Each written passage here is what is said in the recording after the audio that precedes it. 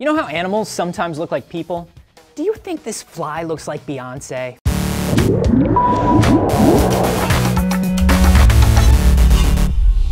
Anthony here for D News, and there's kind of a rule in the scientific community. If you discover it, you get to name it. And when between 15 and 25,000 new species are discovered every year, it gets hard to come up with new names. So scientists do what we all do when we can't think of anything clever. They make a pop culture reference. Just this week, paleontologists announced that they discovered a lizard that's been extinct for 40 million years. It was six feet long and about 60 pounds, making it one of the biggest land-dwelling lizards in history. So they named it Barbaturex morrisoni after Jim Morrison. Why? Because he's the lizard king. Sometimes the celebrity's name is picked because of a particular physical trait the new discovery has. That fly I showed you, that's Scaptia beyonce. It was discovered in 1981, but not described until 2011. It's mostly known for the large golden base on the rear of its abdomen. It's named after Beyonce because it's bootylicious science jokes. This is the Agra schwarzeneggeri. It's a carabid beetle from Costa Rica. It's named after Arnold Schwarzenegger because its middle set of legs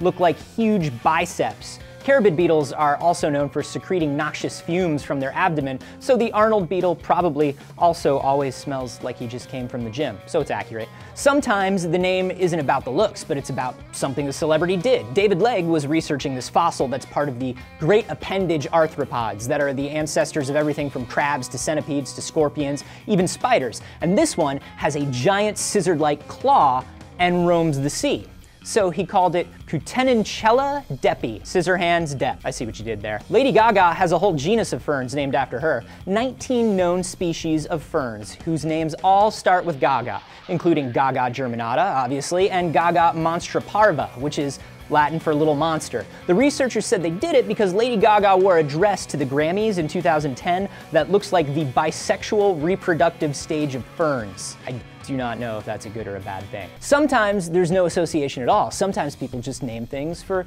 other things that they like. There are 120 species of trapdoor spiders. Genus Aptostichus, which is known for building little homes in the bark crevices of trees with tiny little web doors. And last year, an arachnologist discovered 33 new species and went on a friggin' binge. Aptostichus Stephen Colbert, Aptostichus Angelina Jolie, Aptostichus bonoi, and Aptostichus sarlacc for the Sarlacc from Star Wars. It'll go nicely next to the Agathidium vaderi on any entomologist's shelf. Man, I want to discover something, I would name it after Kanye West or David Tennant. Who would you name something after, and what kind of animal would you want named after you? Let me know down below and subscribe for more D News.